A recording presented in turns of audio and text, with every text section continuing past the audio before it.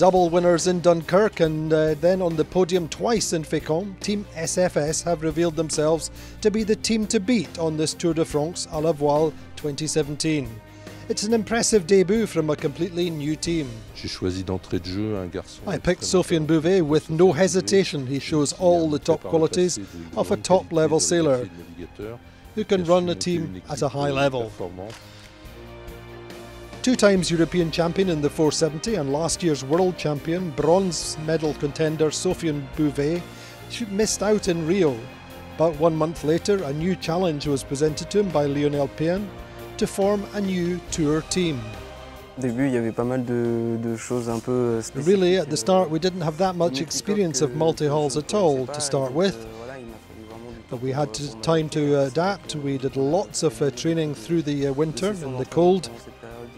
And we caught up on the favourites, on their techniques and on their skills.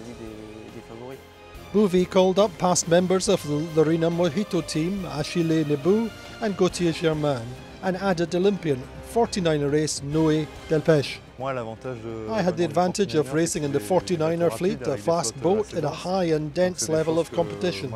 There are two things I knew well from the Olympic sailing, and they translate into the Diam 24, especially in the stadium racing.